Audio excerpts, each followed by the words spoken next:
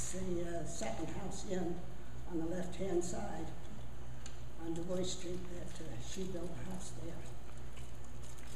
And I thought it was interesting, in April 1st of 1888, and it was Easter,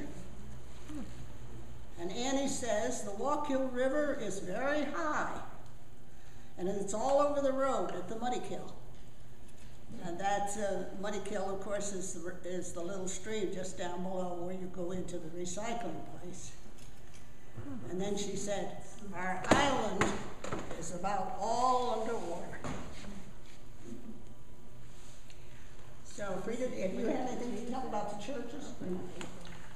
Um, not much, except that this church, um, was built in the eighteen seventies, I believe.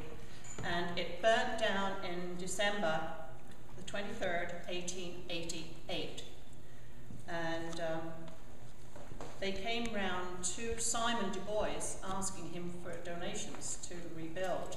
And he said he would give them fifty dollars, I believe, if they didn't go into debt and if they built it uh, as it was. So um, uh, he was one of the first contributors to get it rebuilt.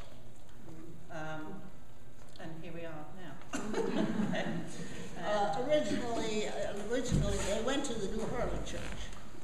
And of course, uh, when the, um, when Annie and Ida were small, of course, they went to the Galeville Church. But, uh, it was in uh, December of eighteen eighty-seven that they joined the Reformed Church. And Annie was active in the Republican Party. And, uh, in September nineteen twenty-two, just shortly after the women got the chance to vote, why the uh, Board of Elections elected her a member of the Republican County Central Committee for the first district of the town of Shawangunk. And then in the census of 1925, you see they had census back then too, uh, she was made an enumerator. And there again, in some of those albums, you'll find a copy of that enumerator slip that she had was District One of Town and it was signed by Florence E. S. Knapp, the Secretary of State. And Annie and Ida were charter members of the Wallkill Women's Club. And Simon, who was one of the original directors of the Wallkill National Bank, and the Wallkill Savings and Loan. And then in the thirties, when times were real bad, the directors of the Wallkill Bank, they put up thirty thousand dollars so that the Wallkill Bank never closed. And then after that time, it was reorganized, and we find that uh, C. Everett Terwilliger became the new president of the bank. And some of you folks remember C. Everett Terwilliger. And of course, Guard, he was our first fire chief in Wallkill. He was the superintendent of highways, and he was the postmaster during the Theodore Roosevelt administration. and uh, then Annie, she died in 1930. Simon died in 1932. And Guard died in 1922. And Ida lived with Ida Mae Rustler for 30 some years, and she died in 1954. But they, the four of them, they, they had a busy life, and they seemed to enjoy it.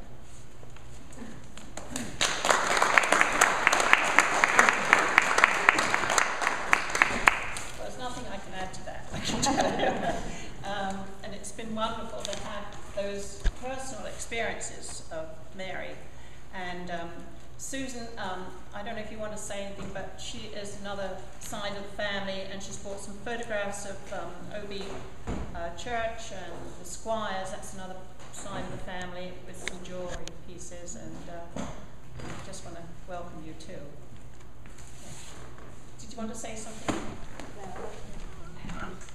I feel like a foreigner down My mother used to date her father. and they were related, and I thought how scandalous that was, and really they did marry even closer than that. Uh, my great grandmother was Margaret Du Bois Church, and she was the daughter of Maria Lefevre and Simon Du Bois. Now, I'm not positive how that, uh, what connection this is, but I think they were sister-in-laws, the woman you were reading the diary from. Um, she would, uh, she died in uh, 1915, I think. uh, Now, I do have some things that are hers. This is a locket that belonged to her sister, Myra Squires. Um, you can- This is her husband. You can pass that around. It's quite pretty. Um, Maybe that's not a good idea. There's a teapot over there. It's called um, Fancy this, is this Mary Squires? Yeah, that, I think that is Mary Squires, and that's her husband. Daniel. Uh, yeah, Daniel Squires. Because we, we have a picture over there of Do you the- think that's him? We have a picture over there of the memorial over in the Wallkill Valley Cemetery, of the, of the big monument. I thought it was, uh, my grandmother, Margaret, but then when I looked at it, it's not the same. And then we have, uh, uh, Mary Squires, she lived at, uh, with Simon and Annie for three years after Daniel died. And then she came and lived with my grandmother. And she- Yes, because when she died, my, But she. my great grandmother, she lived with my great grandmother, and then when she died, my grandmother was, had power of, att- or was the executor for her estate. And that's how we got all this stuff. That's right, I, I, I found those papers.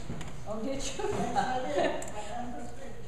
I have one other thing I'll bring up here that I think is kind of interesting.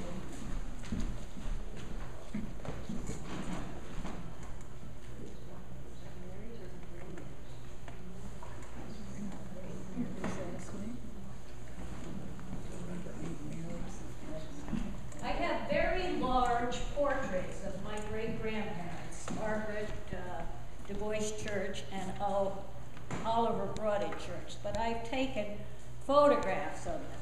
These, por- these portraits are about 40 inches by maybe 34 or something, and I was not going to car- cart them down.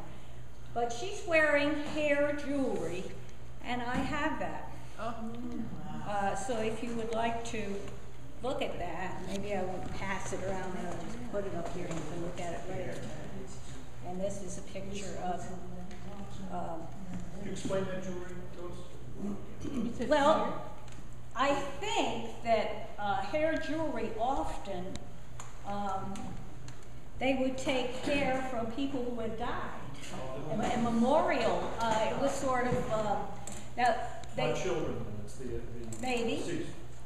This is pretty nice and brown, so they couldn't have been too old when this person died. They also had hair receivers, which was a little bowl with a hole in the top, and when you brushed your hair, you put hair in there, uh, collected it. I actually wore these when my young, one of my sons got married. I had a green dress and I wore these earrings. And my daughter-in-law was fit to be tied. She said, "You've got lovely earrings. What are you wearing those for?" I was not impressed. Mary tells a about the blizzard of 1888. This has nothing to do with Du Bois's, but it is about that blizzard. I grew up on Deniston Road. My grandmother was Anna Trapphagen Deniston. She was married in, um, let me get this right. She was married the year of that blizzard, so that was in 1888, uh, about February 22nd. And they went to Washington for their honeymoon. Now, her husband lived directly across the street on Deniston Road where the mayors lived. That was where my grandfather Deniston had been brought up on the old Trapphagen place because his mother had died.